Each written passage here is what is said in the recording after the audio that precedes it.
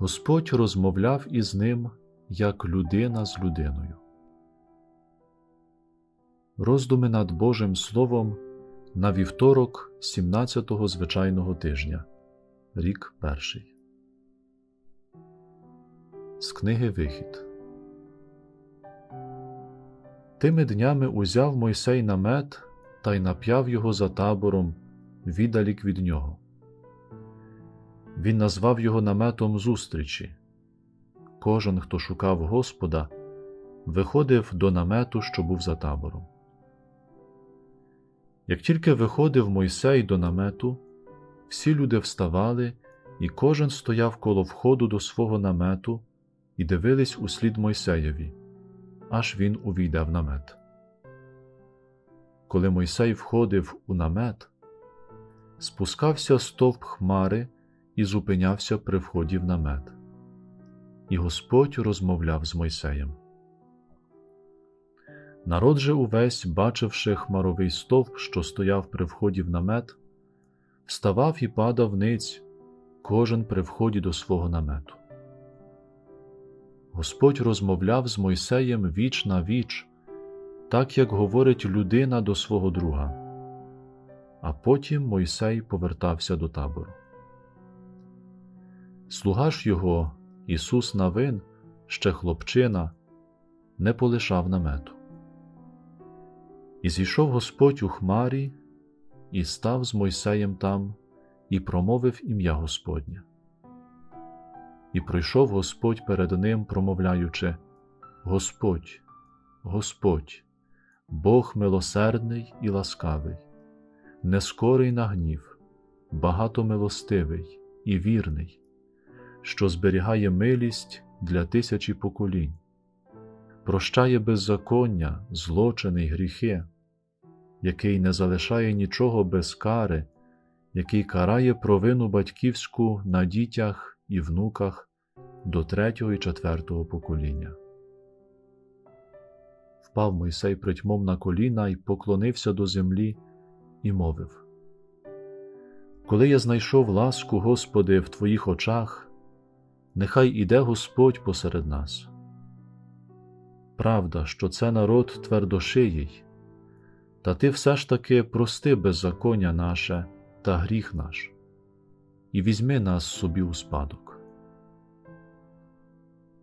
Мойсей був там з Господом сорок днів і сорок ночей, хліба не їв і води не пив, і написав на таблицях слова Союзу десять слів. Якщо ти спостерігав за світанком, то знаєш, що це приголомшливе видовище, від якого перехоплює подих. Сонце поволі сходить над горизонтом, поступово заливаючи світлом небо і землю. Навіть темні хмари освітлюються мерехтивими вогниками сонячних променів, стаючи ефектним полотном для картини нового Божого дня. Ти ніби долучаєшся до якогось чарівного таїнства, сповнюючись відчуттям безмежного захоплення Божим творінням. Напевно, щось подібне відчував Ісус Навин, про якого ми чули в сьогоднішньому першому читанні. Мойсей, пішовши до намету зустрічі на розмову з Господом, узяв хлопчину з собою. І той побачив, як Господь розмовляв з Мойсеєм віч на віч, так як говорить людина до свого друга. Можна лише уявити, яке враження це справило на юнака. Не дивно, що навіть після того, як Мойсей пішов до людей, Ісус Навин лишився всередині і не полишав намету.